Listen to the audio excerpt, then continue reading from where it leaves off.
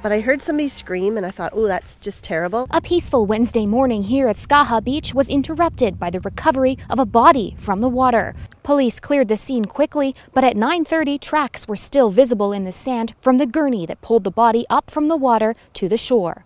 Kim Cryer was enjoying the sunshine when she heard a scream near the shoreline. The next thing was is somebody was running back to their car and and um, I kind of watched them take a body out of the water. The body was identified by police as a woman in her 50s.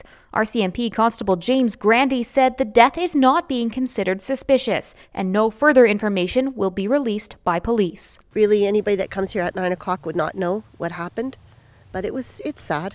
It's sad to see when somebody dies. Chelsea Powrie, Castanet News, Penticton.